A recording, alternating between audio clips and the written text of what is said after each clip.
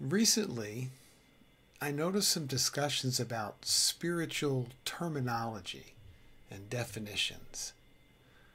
What is the true meaning of the word enlightenment?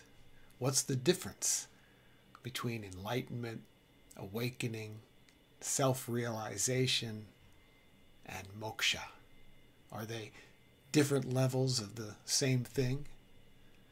Would you say the absolute or all there is is Brahman? Or would you say it's the self? But these are just spiritual terms, not the thing in itself. And this message is about releasing our dependency on words and labels, as if getting these right would provide the key to liberation the only thing that's all there is is all there is. And it's not a thing, it's nothing and everything simultaneously. The mind can never get that because it thinks it's a something, and something can never comprehend nothing. All names are just an attempt to make it into a knowable, understandable thing for the mind, which, because it's convinced it's a separate thing, and everything and everyone else are other separate things, if it can just know about all those things, define them, and understand them, it can assure its own survival and spiritual perfection. But there is no one. There's only what is, what's happening, to no one. So there is no one who awakens, no one to achieve self realization or enlightenment, and no possible names for the absolute or all there is. Brahman, self, self realization, and enlightenment are all just names somebody invented. Conceptual labels, subject to countless interpretations. Any label or word that is subject to interpretation is still in the dream, not the actual reality. Just nice words that may point to reality, but are not the reality if you don't know English and I point to the moon and say, that's called the sun, would you know the difference? Would it all of a sudden stop looking like the moon to you and look like the sun?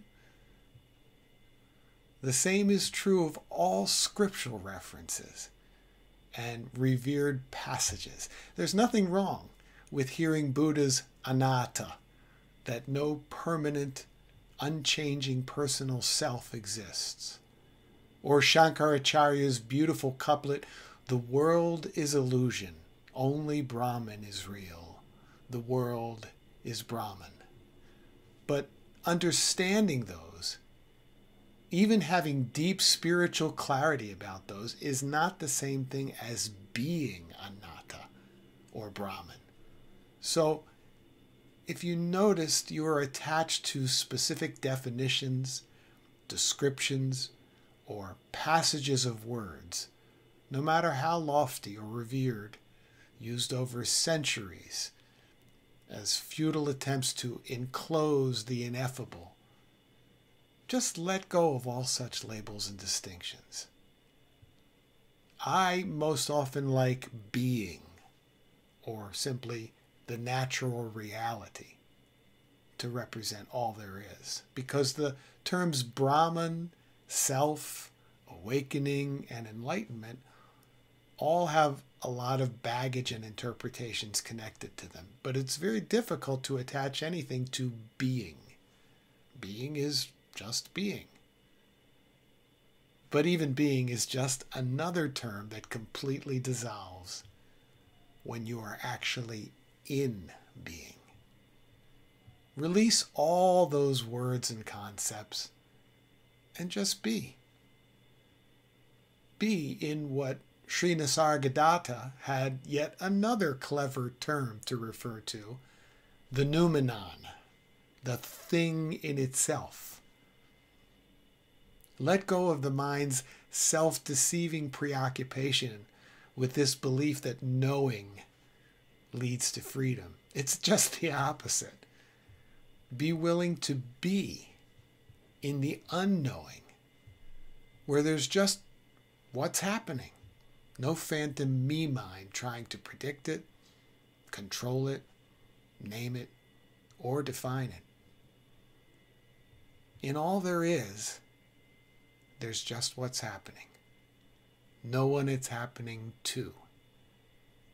And there just isn't a word for that.